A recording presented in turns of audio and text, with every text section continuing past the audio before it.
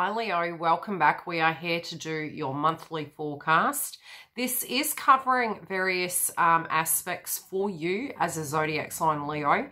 It's also covering couples, singles, those of you in between, your employment, your health, your finances, um, and any days that may come up in your chakra system. So it's sort of like your go-to to actually help you get through the whole month. Now, the first day of the month, some things that come, can come up can be linking in with education, um, your spirituality, a potential connection going to the next level, if and what. With that frequency, pay really close attention to your psychology. I'm seeing also themes, and it's a hard aspect. The beginning of the month is pretty tough, and although we're moving into Leo season, we've got the ups and downs and ebbs and flows, but it's really honing in on those days of why it's coming up and, and what potentially can be happening. When it does come to the energy of your health, there can be subject matters to do with that. And I'm really seeing an alignment needed connected to mind, body, and soul. And this has been a huge theme for all the zodiac signs for the month of August. So there can be problems on the first day, but the benefit that's going to come is your career sector. So anything you're working on of the 10th house and leveling up, it's integration needed but it's almost don't fall back into fair base frequency of lack of success. And for those of you that are unemployed, don't stress. There is a subject matter here, and there still can be themes coming up, but it's almost like universe is giving you the tools and they're saying, okay, yes, this is challenging. Let's look at the reasons why, but let's continue forward. It will be busy. We're also having themes on this day very much linking in to um, Uranus going retrograde. So with that, it does fall in your career sector. So we do tend to get the polarities and any themes that are coming up that are linking into Uranus, I will mention that. So that those themes you can pay attention to so you can correct them as you move through the months. With it, with your first house placement, you will have more energy this month. I will say that. But it is going to be important to keep your fluid up with the crown chakra also um, pacify us with triggers because we have Chiron and Aries retrograde. It is Mars energy. So although we, we are more energetic in a sense of strength and it's happening outside of us, there also can be themes of burnout. Uh, and with Chiron and Aries, retrograde, some of us may actually accidentally have potty mouth. So it's really speaking before we think and coming from a place of emotion over a, physical 3D. And, and sometimes even an overwhelm because there's so much to achieve and do in such a short space of time. Now, the full moon in Aquarius is hitting your seventh house, and that's linking to relationships. So, again, because we're covering different strokes for different folks of that zodiac sign, I will mention more in the comprehensive report linking to each placement of how it relates to couples, how it relates to singles. Now, being a full moon, it's at 11 degrees. It's going to be on the 3rd. You'll, you'll feel that potentially by the end um, of the beginning of the month, end of July moving forward. And it will be for most of the month. There can be common themes. It also will link into 2021. And the reason I say that is because we are going to have Saturn and Jupiter in Aquarius. So any old energy that we're letting go of, it can be highly anxious. I do tend to find each person kind of um, deals with the full moon energy at a different level. Full moon is a closing of a cycle and a beginning of a new one. So it's a bit like the Fool card. You're looking at it and you're going, there's infinite ways this can go. Really, sometimes the things that are holding us back are memories of the past.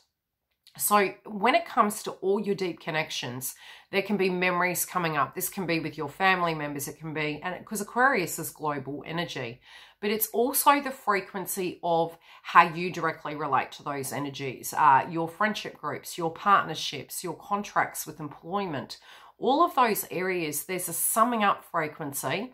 And I really do feel there's themes coming up as to what you're physically choosing to do and the belief in which you may feel is it outside of your control. So there's this push pull energy going on. Just sit with that energy on the day uh, but don't be surprised if major themes come up in that area.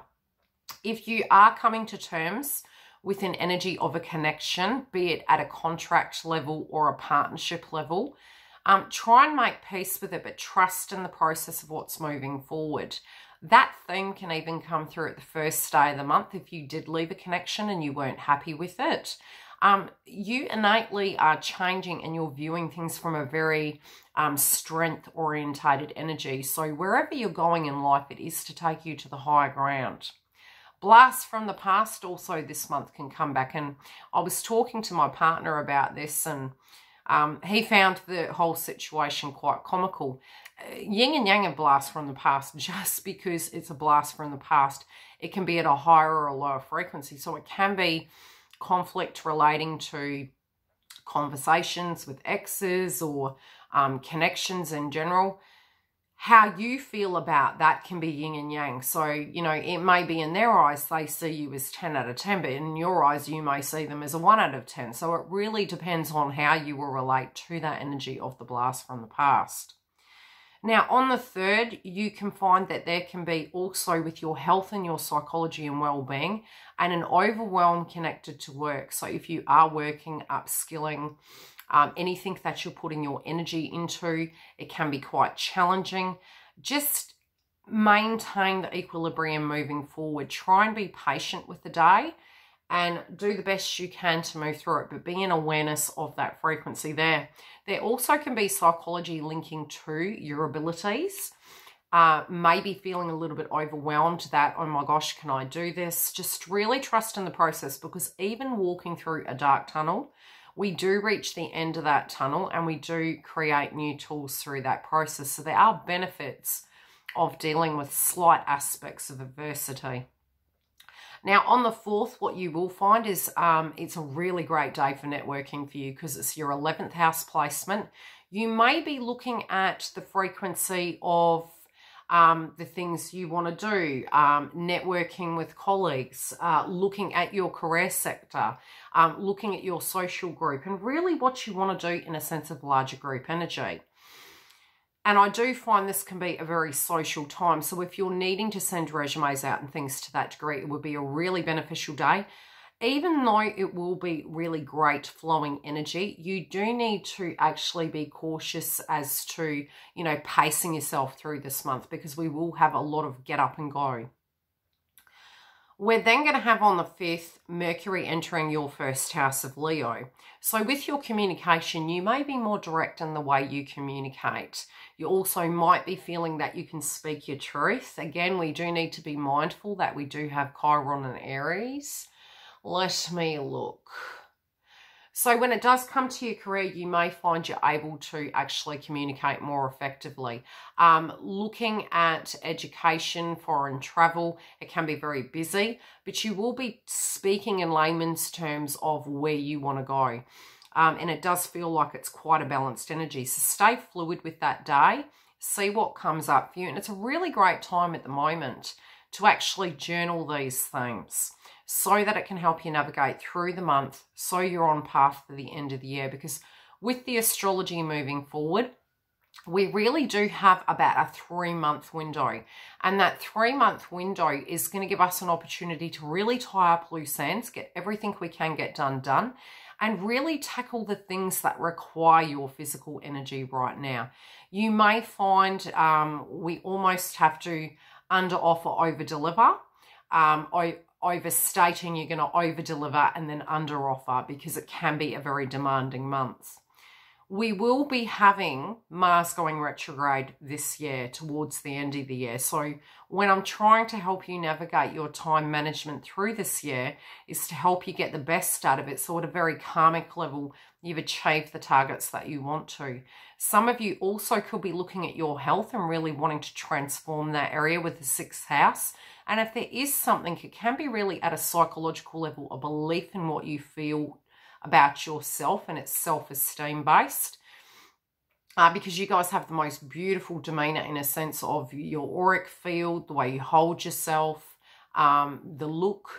You're, you're a very beautiful zodiac sign. So, you know, if things to that degree are coming up, um, you know, just really tap into yourself and look at the beliefs surrounding it because I really do feel you could potentially be underestimating yourself.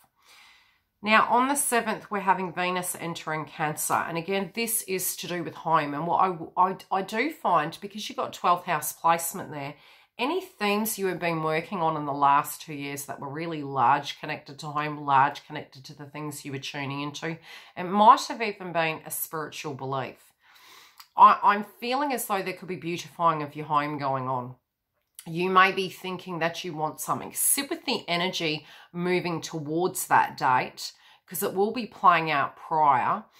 And then look at it from a point of view of, you know, what are the reasons behind this? Is it because you, you are, you know, working from home? Do you want to beautify things? Do you need to correct things? Um, are you innately wanting to spend more time at home and go into nurturing? Um, but again, what's coming up in your mind, really document, take some time for yourself um, and sit with it. But some of you can actually be getting um, beautifying your home and doing things to that degree. Now, we're going to be having hmm, a really great day for you linking in with connections. Education is going to be on the 9th you will find that even if you're second guessing yourself, you're going to be able to achieve even better. And on the 10th, you're going to find that in your career sector, you might be again second guessing yourself. So it's these ebbs and flows that we're going through. Anything at a complicated level linking in with your career, it may be more complex. Um, try and have patience with yourself. Do the best you can. There's more integration needed. Squaring as aspects can cause difficulties. Now, it may be due to surrounding energies. And we do have the nodal axis of Sagittarius and Gemini. So for you, you know, your belief about what luck was in the past um, can, you know, your romance, your children, and your luck is Sagittarius and the Gemini axis is your 11th house of your, your wider group energy. So there can be growth really um, linking in with your connections, your groups, changing that up. It can become quite social and really speaking your truth to these individuals, creating healthy boundaries, networking.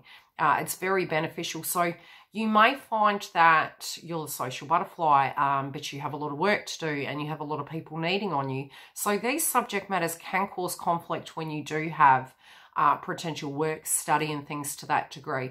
So if you can actually allow yourself to have the best of both worlds, really having that crucial time management, it's going to take the pressure off you where it won't become overwhelming.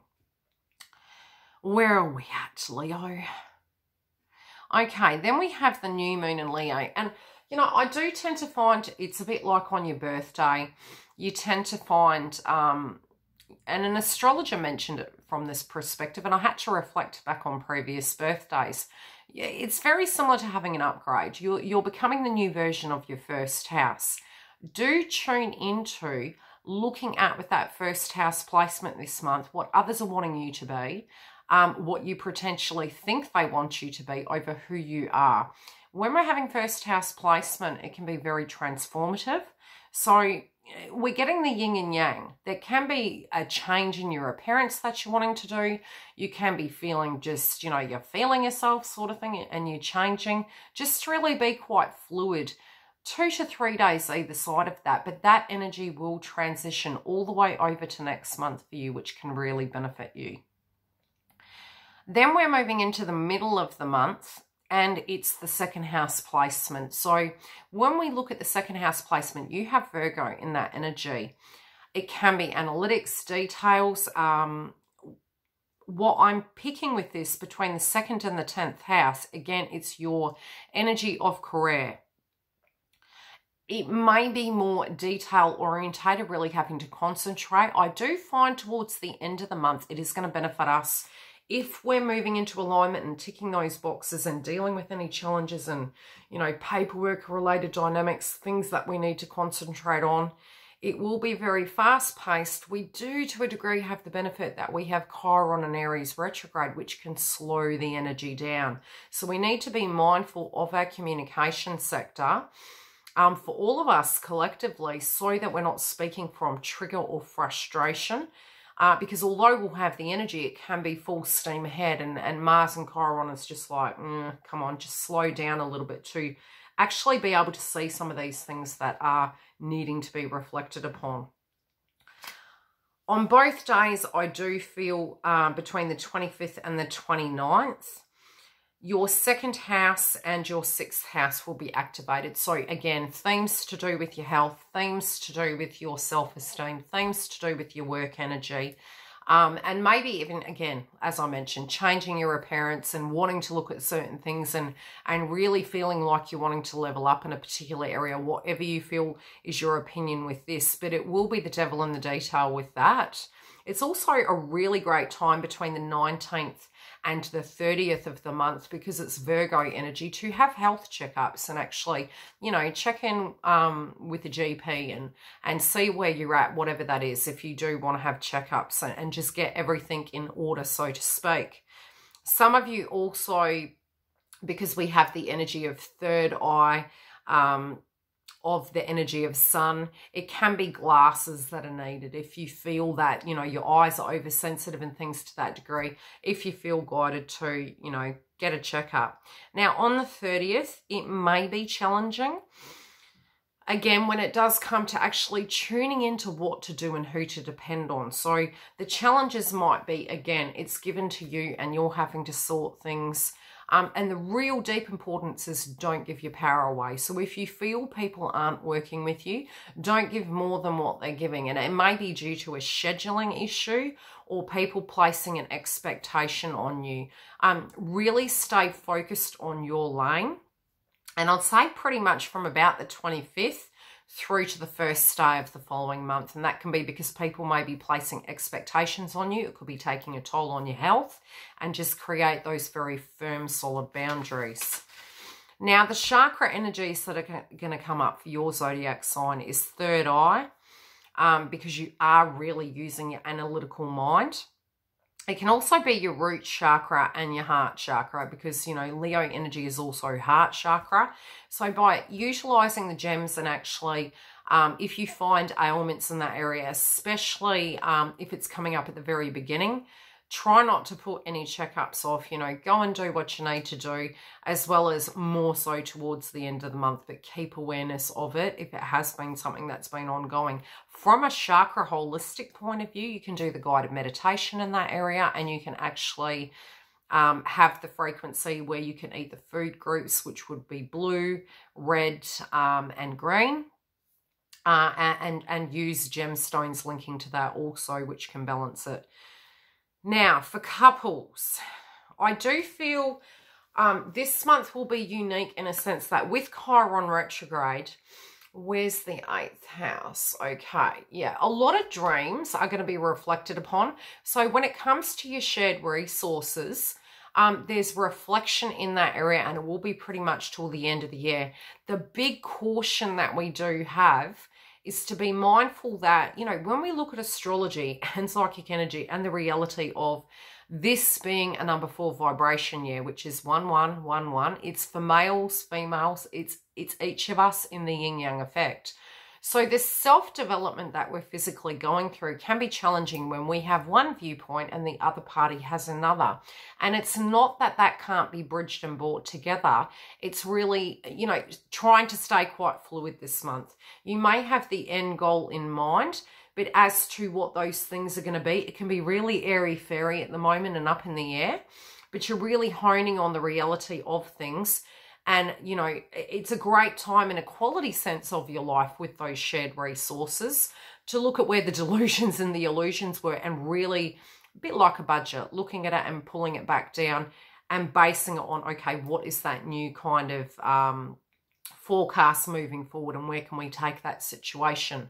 There may be differing views and again, you know, whatever it is that can be achieved, it's, it's what will we need to do to change that.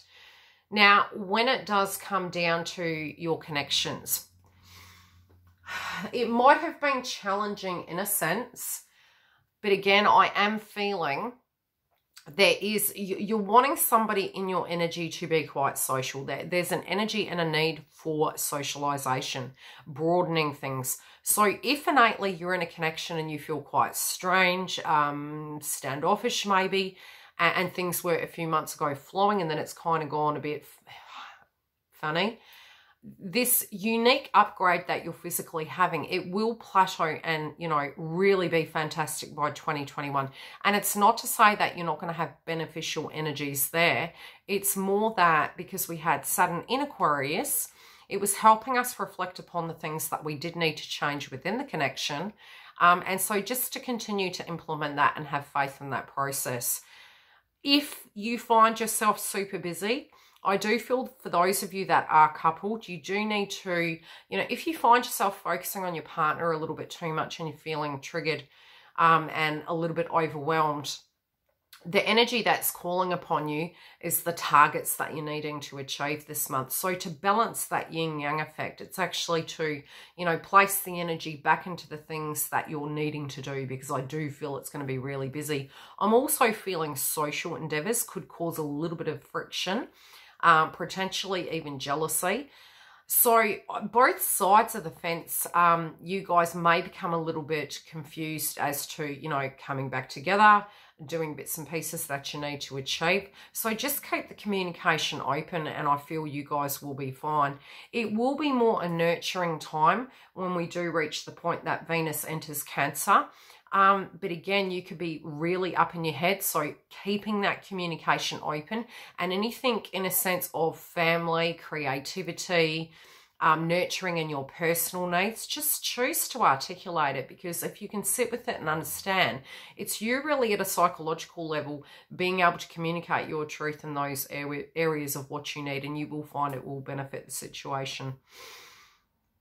So, you know, crosswise um, can really be coming up. What else am I seeing? Some of you might have been actually tuning into, okay, do, do we want this house? Is this the home to be in?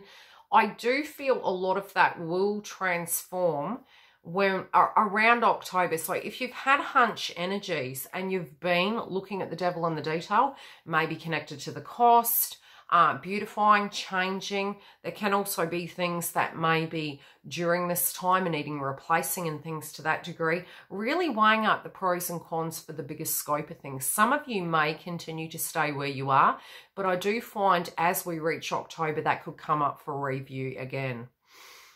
Financially, let me look. Um, some of you may be having changes occurring um, when it does come to your children. Now, if you do have children, you may find that their demeanor is changing, that some of the ways they're communicating with you is changing, some of their expectations are changing, but yours also are changing. I also see a, a, differing in view as to, you know, what to do with assets, where to allocate them, ha- how to share the resources out. So people's needs versus what you actually have the ability to achieve might also be coming up. I do feel you'll be very direct by the end of the month and anything that does come up in a sense of a hiccup will be to the point you would have um, really come to terms with what these things are and you'll be able to actually move through documentation, um, networking, looking at your assets, um, looking at paperwork. But I find that I do feel at a spiritual level, if both of you are, you know, very spiritually connected, it will be more balanced. Now, those of you that are single, um, and it really does come through in the couples energy too, it's almost like you want love, but you want eh, the energy of wanting to have it all, which, yes, you can. It may trigger the energies around you at the moment, but it does feel this very independent energy. And I just keep hearing the term wanting to level up, wanting to be able to have the things that triggered you in the past to really be in check where you've got your career sorted, you've got your, you know, finance sorted, you've got your friendship groups, and there just feels this innate transformation. And it is potentially because you did have cancer in the 12th house. So at a soul level with your connections and your healing to do with your childhood, I do feel you've actually moved through a lot of that. This will continue to move and you will see the beauty, mm, almost the beauty in the beast in situations. And you might find around this time, you're more direct and assertive as to what you do and don't want. Some of you, again, there's huge themes with the ninth house, and I'm really feeling it's almost like all of you, be it singles, couples, or in between, You're, you're wanting a connection that is going to go the distance. You're wanting something cemented in a sense that that person is willing to work with you with the eighth house placement. So a lot of review is really on that. I do feel for those of you that are single, if you have been thinking about a past person, deep energies can come up at the beginning of the month. By the time you do reach mid-month and the end of the month, you're really doing a quality check and your self-esteem um, may be really transforming. If you do still feel triggered, continue to do the inner work because you really have positive energies coming. I also feel there's other offers on the table, so don't be surprised if you have many offers, even if it's not just directly the one you want. Although I am seeing the person from the past coming back and having an opportunity during Chiron and Aries retrograde and Uranus retrograde coming back and really wanting to address those things. Hmm.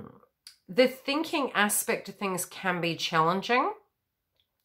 But overall, I do feel you're really, um, some of you are really um, very focused on self and self-development. But I do feel the more in detachment of scenarios you are, it's almost the more attractive you're becoming. So people are in awe of your beauty at the moment. Now, with your career sector, like I mentioned, it, it is going to really benefit you. And, and all this cycling out of energy, if you do feel suddenly it's a bit like, these are the days of our lives and you know you got the hourglass and things are sifting through your hands. You know whatever is truly yours will always stay there but whatever's really in your soul higher purpose is going to come towards you.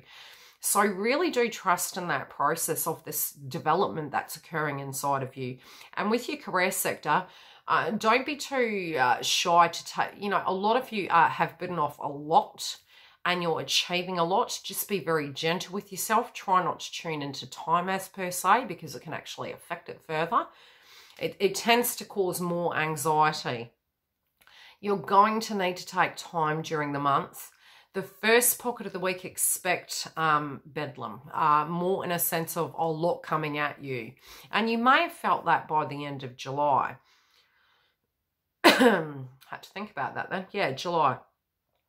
By 2021, every step you're taking in that upskilling, um, especially if it's happening at work and you're learning a great deal, you know, you're having to look at things. It is because we have so many planets retrograde. Your mind can be um, in override at the moment with the Leo energy coming through, and it is your zodiac sign. So, yes, you are used to it. But with the crown chakra activated and the mind and the body, it's really going to be important to have the alignment of all of those frequencies. So, if you're doing a lot and you, you're reaching the 10 point, take five and go outside, put your feet in the ground. Um, you know, do some breathing exercises and, and just grab a cool drink cool down, and then go back to it. And, you know, if you need to, jot down what you need to achieve. And then you're able to time manage more effectively and it's going to take the pressure off of that energy. But I highly advise, you know, to take those moments to be able to pause for a bit, have a neutral zone in your house potentially that you can go to to recharge. Even if it's for five, ten minutes, it will make the world a difference. Now, financially, let me have a look. I do feel much luck surrounding you. You'll have the strength to achieve things. There also can be um, major surprises and dividends paying for your 10th house placement. Um, also, keep the networking open. You may be so surprised that with some of your new hopes and dreams that are coming through are going to be highly lucrative. And, you know, with that axis of Sagittarius and Gemini, um, I've gone through the axis of Cancer Capricorn. It was my moon energy. What I did tend to find that there was major development there. At a psychic level, I wouldn't be surprised, Leo, if you guys are developing that further. So if you are having um, a lot of downloads and you're very tapped in psychically, you're thinking of someone and they call you, you're really um, fine tuning it if you need coaching with that, feel free to jump through. I do actually coach um, to help you understand what's happening, how to utilize it, how to tap in. So if you're needing further development there, feel free to come through. your alignment of your soul purpose had been coming through. So now you're moving more towards, you know, reconnecting in with energies, um, understanding the, you know, at a manifestation level, we can attract finances, but all the changes you're actually tapping into now is due to the nodal axis and it is going to assist you. Any challenges you have may occur during a retrograde, but then they don't end up being challenges. They end up being blessings because you end up, it's like a quality system looking at the, that domain of your career um, to help you move forward and it will pay off, you know, during that process. So for those of you that are unemployed, let me tune into that frequency. I would definitely say keep your paperwork up to date because anything that you're needing to fine tune with your sixth house axis at the moment um, and the squaring aspects, your health. So get your health in order. I'd also highly suggest that with the axis of Sagittarius and Gemini, that many of you, let me look.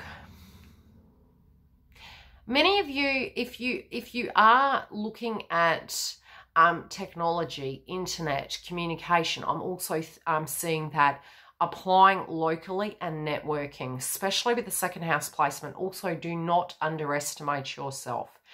We do have that frequency of a soul transformation coming through um, for you.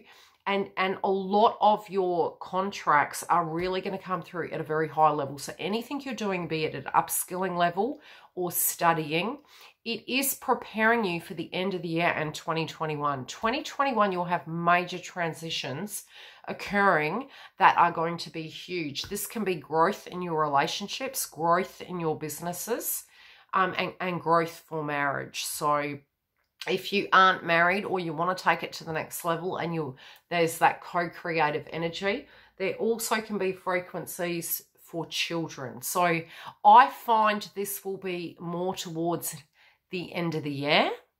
Uh, where that can come up November, December. So if you're not wanting any, be careful. Um, but otherwise, there is definitely change and growth in that domain. What else am I seeing? The industries I do find also, because you have seventh house placement, they need to be more so, you know, we we find at the beginning of the year we had that axis, that was the conjunction point a lot of that has been cycling out um, companies, industries that were super, super large. And now it's fine tuning it down as the year proceeds into what now resides. So it's almost like the tower through the year of industries, groups, etc. So because you have the seventh house of Aquarius, and we're going to have Saturn and Jupiter in Aquarius, looking at larger corporations or, or looking at global situations. So if you are wanting to actually work from home. Let me see, between now and October, if you have been really editing and looking at that and you are running a business at home, you will find between now and October it can start really moving. So anything you've been guided to do and change from home, especially with Cancer moving into Venus, beautifying, correcting, um, you know,